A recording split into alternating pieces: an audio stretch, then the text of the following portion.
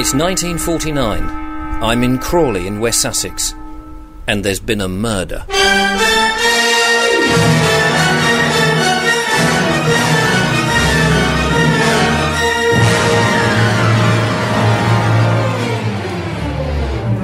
Today's True Murder is another classic from the hefty annuals of crime. It was the case of the century that made all the headlines in the papers for weeks, no, months, and continues to pop up from time to time to remind us of the extremes that some people will go to to get rid of a body. For tonight's show starts with a disappearance, a suspicion, an arrest, and then the most extraordinary confession of all time. And yet there was no evidence. There was no body. At least, not what you might call a body. Just 28 pounds of oily yellow sludge. This is the macabre tale of Mr. John George Haigh, the acid bath murderer.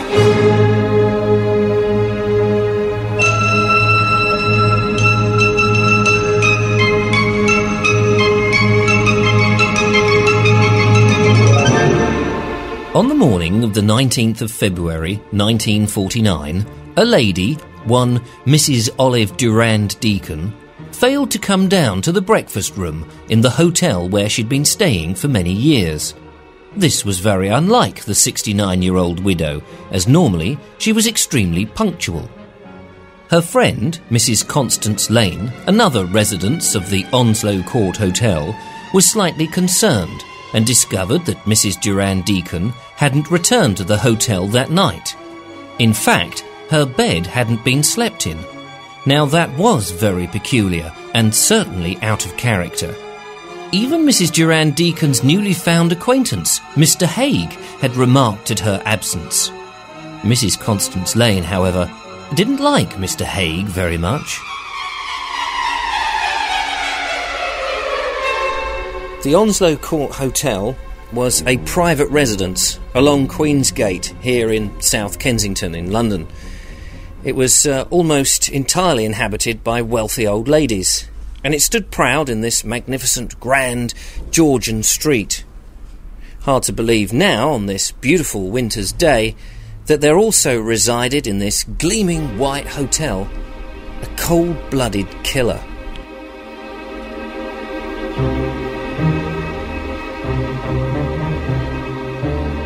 Mr. John George Haigh, very dapper, well spoken, always immaculately turned out, at 39 was an extremely charming young man. Perhaps too charming.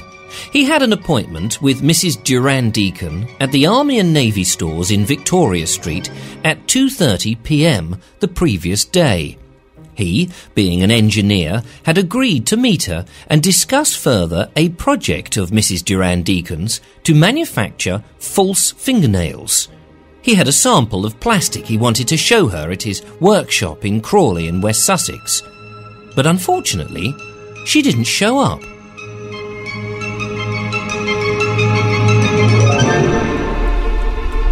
I'm in my car heading towards Crawley to Leopold Road, where Haigh had his workshop. Now, according to the AA Route Finder, the journey from South Kensington, London to Crawley in West Sussex, using the old A roads from the from the late 40s, it's about 32 miles and would have taken approximately an hour and a half back then, um, assuming, of course, that is you don't stop. Of course, there was bound to be a perfectly sound and reasonable explanation for Mrs. Durand Deacon's sudden disappearance. But the following morning, on the 20th of February, Mrs. Constance Lane again noticed that her friend had not come down for breakfast and began to get very worried indeed. She told Mr. Haigh that she was going to the police Haigh said it was the perfect thing to do and agreed to accompany her, as he might be able to help. As indeed he might. Haigh drove Mrs. Lane to the Chelsea police station, and there they both filled out the missing police forms. Haigh described how he waited for Mrs. Durand Deacon in Victoria Street, and after an hour, when she hadn't shown up, he drove down to his Crawley workshop alone. Four days later, on the 24th of February, Mrs. Durand Deacon still hadn't surfaced, and policewoman Sergeant Lambourne arrived at the Onslow Court Hotel to get some extra statements from Mrs. Lane and Mr. Haigh. They couldn't add very much more to their story, but there was something about Haigh that Lambourne didn't like. She was an experienced police officer, and she had a hunch that he was lying, although she confessed she couldn't put her finger on it.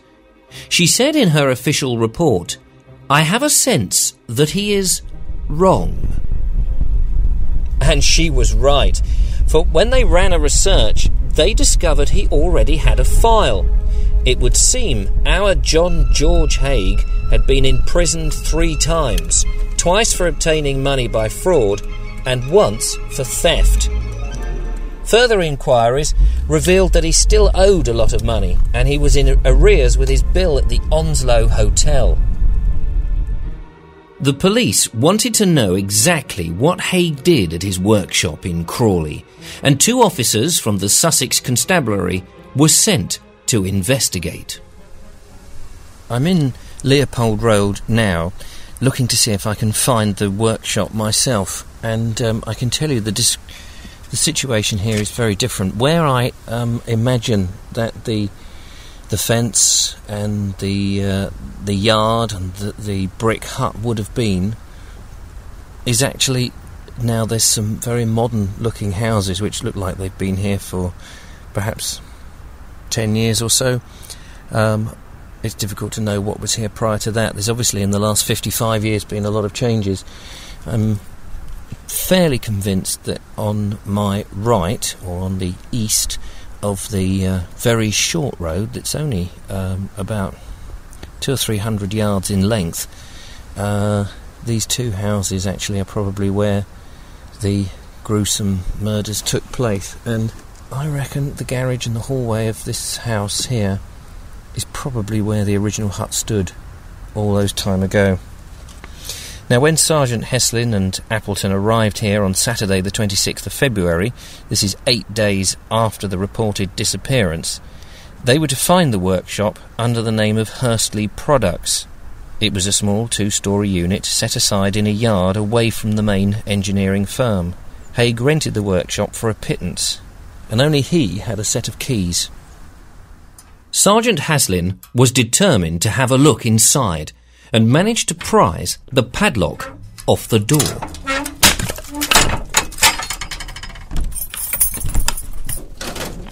Once they got inside, this simple brick built shed looked ordinary enough with its whitewashed walls, pots of paint, simple workbenches, bits of wood, and usual clutter.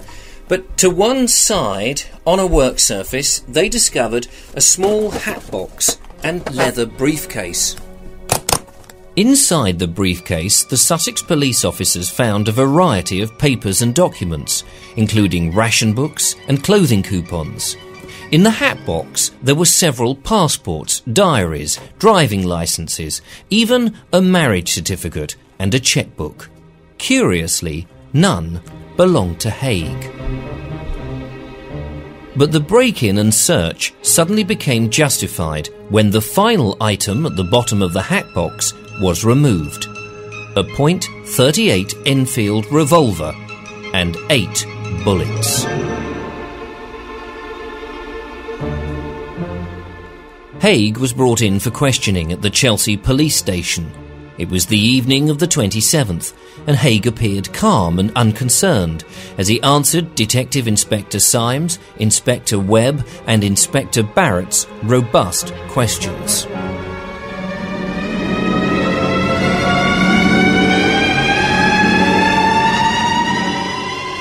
The evidence had grown, and the items found in the workshop were obviously stolen, and some of Mrs. Durand Deacon's jewellery had been traced to a dealer in Horsham who had confirmed Haigh's distinct description. I can see you know what you're talking about, mused Haigh. And when asked directly where Mrs. Durand Deacon was, he thought for a moment and replied it was a long story that involved blackmail and he would need to implicate many others. Just then the phone rang, and Symes and Barrett were summoned from the room. Haigh was left alone for a moment with Inspector Webb, and he suddenly asked a curious question. Tell me frankly, he said, what are the chances of being released from Broadmoor?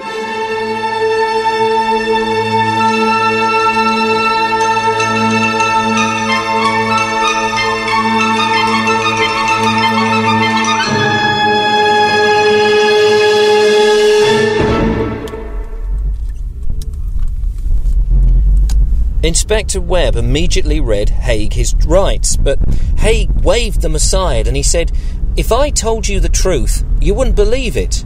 Mrs. Durand Deacon no longer exists. She's disappeared completely, and no trace will ever be found. I've destroyed her with acid. You will find the sludge that remains at Leopold Road. Every trace has gone. How can you prove a murder if there's no body?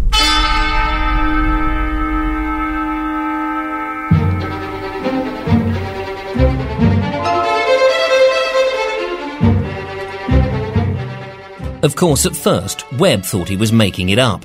It sounded extremely doubtful. But with his question about Broadmoor, perhaps Mr. Haigh was setting himself up for an insanity plea. Cold blooded murderers could hang, but the clinically insane would get locked up and possibly released. When the other two police officers arrived back in the interrogation room, Haigh was asked to repeat his earlier statement. He continued to talk for a further two hours. Instead of failing to turn up as he'd first claimed, Mrs. Durand Deacon had in fact met him at the Army and Navy store, and Haigh had persuaded her to come down to Crawley to the experimental workshop. Now, it was while she was examining some material, she had her back to Haigh, that he picked up his .38 Enfield revolver and shot her in the back of the neck. She would most certainly have died instantly. The story then became a lot more gruesome. He further revealed that he had cut open her throat and filled a glass with her blood and drank it. He was talking calmly, drinking a cup of tea and smoking a cigarette. They could have been discussing cricket. Haigh went on to reveal how he had removed all Mrs. Durand Deacon's belongings, her fur coat and jewellery, and proceeded to put her body, fully clothed, into a special oil drum, one that resisted corrosive material. He had donned his protective rubber apron, put on his Wellington boots, gloves, and gas mask. These had all been found in the premises, neatly stored away. I then filled up the tank with sulfuric acid by means of a stirrup pump and a carboy. I then left it to react, he confessed. And then he remembered something. Oh, I should have said that in between putting her in the tank and pumping in the acid, I went round to the ancient priors and had a cup of tea.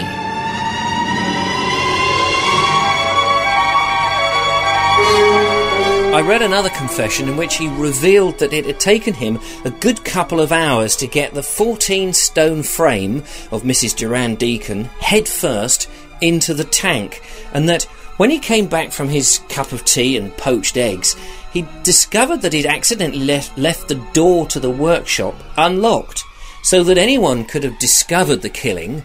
He didn't like the term murder if they happened by.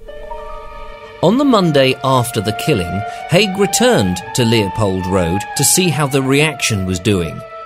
Heat generated by the action of sulfuric acid on a body made the drum extremely hot, and it had almost completely melted Mrs. Durand Deacon's body into a horrid yellowy sludge.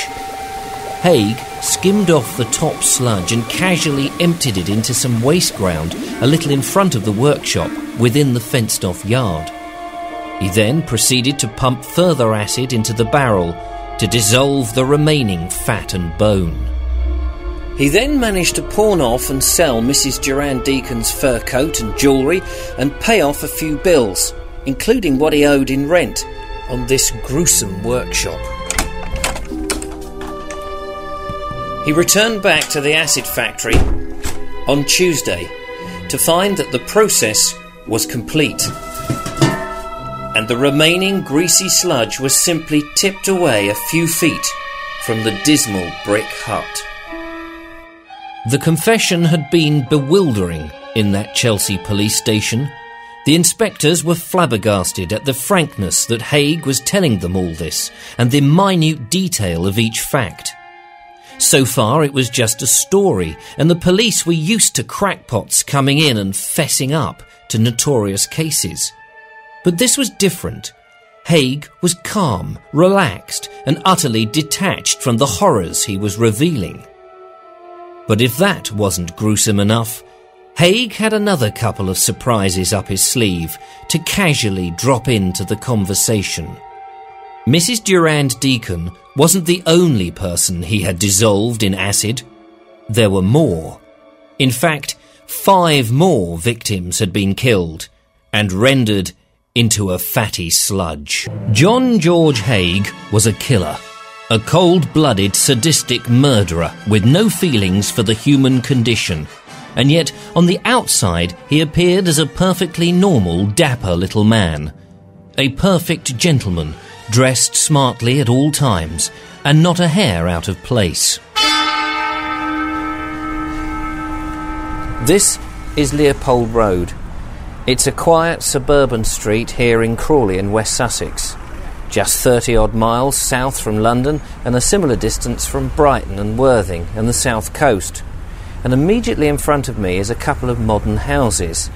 Now, they must be about 15 to 20 years old probably the owners are not aware that on this very site in 1949, one Mrs. Durand Deacon was lured here to Leopold Road, taken into what was then standing a two story workshop, and senselessly murdered.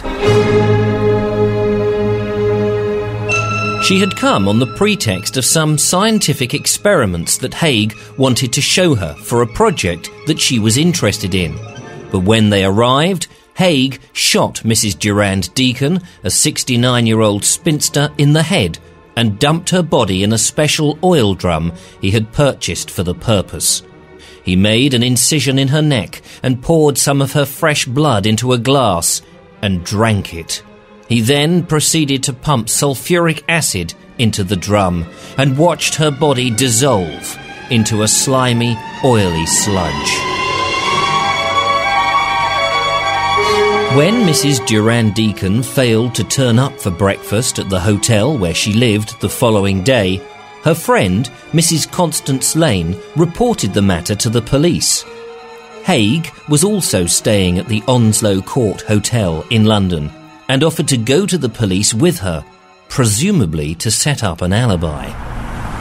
But the police thought there was something fishy about Mr. John George Haigh and started to look into his background. They discovered that he had already been in prison and decided to bring him in for further questioning here at the Chelsea police station. Haigh had surprised all the policemen assigned to the case by confessing almost immediately. He was convinced that they couldn't convict him, however, because there was no body. He had dissolved it. So assured of his ability to walk away from this crime unscathed, he confessed that this was not the only killing he had committed. There were at least five more, and all had been dissolved in acid and turned to sludge.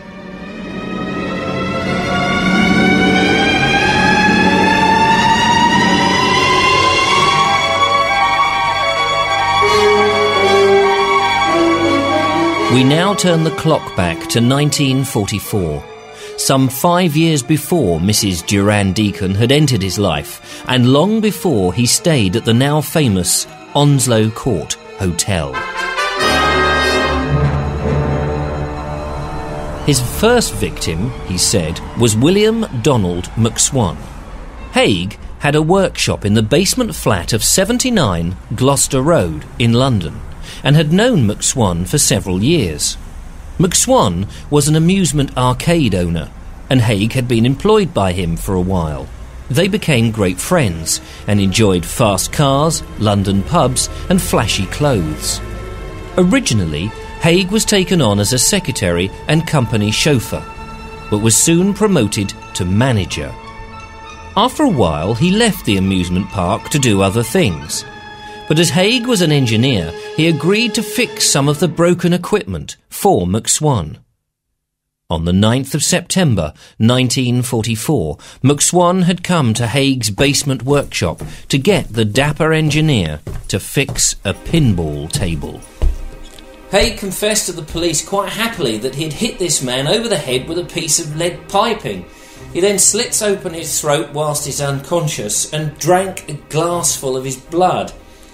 He said that it took about five minutes or so for McSwan to die and after he was certain that the corpse wasn't going to survive, he then left here overnight to decide what he's going to do. Now, remember, this was wartime Britain, and uh, the authorities had obviously a lot of other problems to consider and take care of, which gave Haigh a lot of leeway. Now, he found an old oil drum on one of the nearby bomb sites, and he brought it back here to the workshop.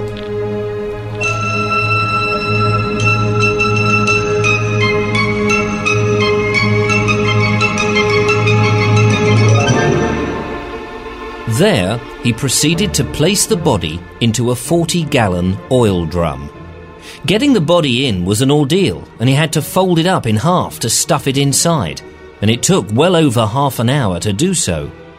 Once in, he had to lift the drum to an upright position, and then packed McSwan's overcoat around him.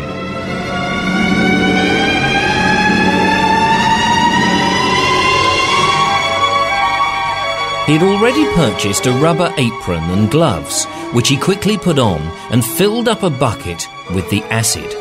It was awkward, but he finally got the first bucket load of sulfuric acid into the drum. As the acid made contact with the flesh, it started to cause nasty fumes, and soon the whole workshop was engulfed. Haigh had not expected this. He even had to step outside into Gloucester Road to grab some fresh air.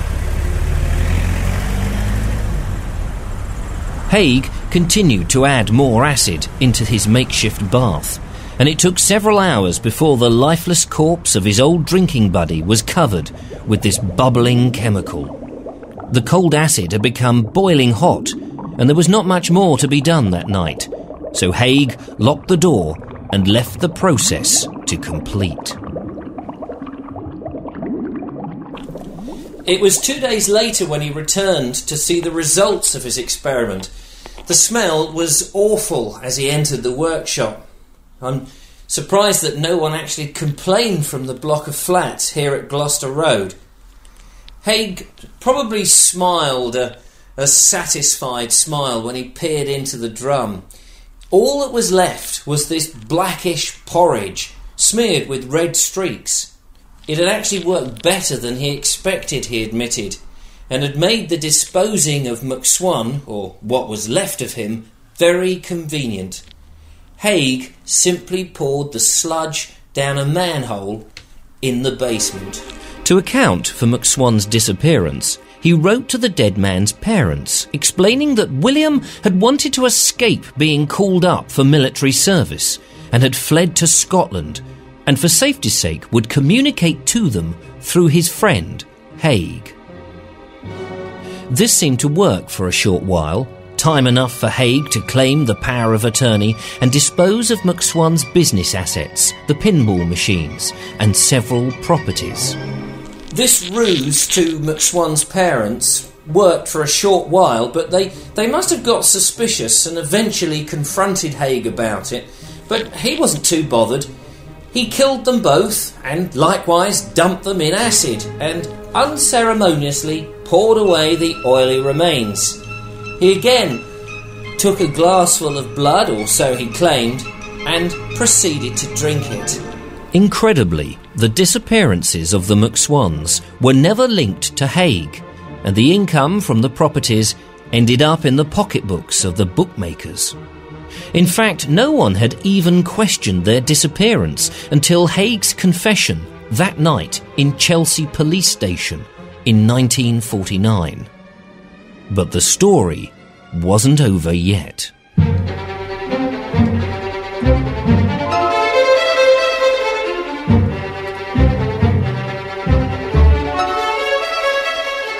The money was running out, and Haigh needed to get some more.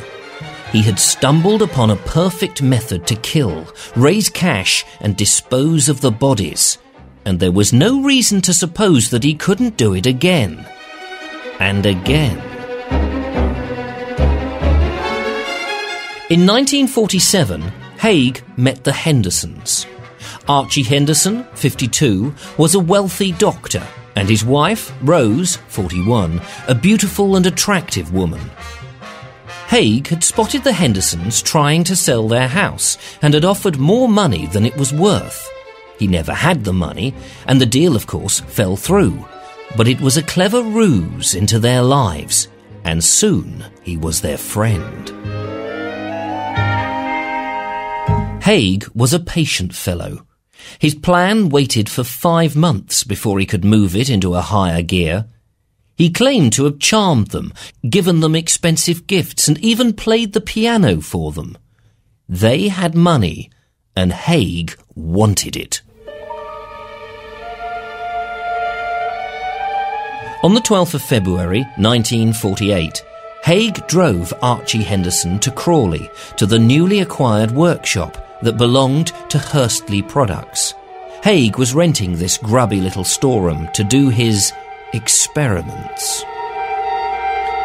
Haigh shot Henderson in the head, actually with Henderson's own gun, which Haigh had stolen earlier. He left the body and returned to Mrs. Henderson and told her that her husband had suddenly been taken ill and needed her help. Rose was a little put out, but dutifully came with Haigh to Crawley.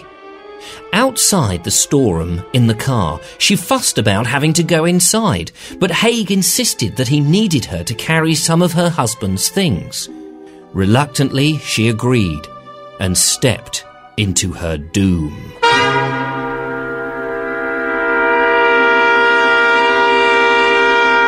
Rose was also shot in the head, and Haigh trussed up both corpses and left them here overnight. A gunshot in a place like this would not really be noticed. The area was underdeveloped, and the noise was not likely to be interpreted as gunfire, so Haigh was safe so far. Again, Haigh drank their blood. He returned and disposed of the bodies in his tried and tested method. Everything went as normal, except for one small detail. Mr. Henderson's left foot hadn't quite dissolved. But Haigh now, perhaps complacent or just under the theory that he was immune to capture, merely dumped the remaining appendage with the sludge in the corner of the yard adjacent to his workshop. Afterwards, Haigh weaved his magic. He convinced relations that the Hendersons had left for South Africa. He sold their possessions and made money. Once more, he was flush. But it didn't last long. Gambling and bookmakers and living in the expensive Onslow Court Hotel depleted his funds, and he started to get desperate. Enter Mrs. Durand Deacon and his final arrest. Haigh claimed to have killed a total of nine people, but of the other three there was no trace, and their identity was never found, and even Haigh wasn't clear who they were, just people he had met and killed for their blood. Or at least that was his story. So, what was this all about, drinking the blood of his victims? wondered the police. They never really believed that this took place and thought Haigh invented the vampire antics to support a case for being mad.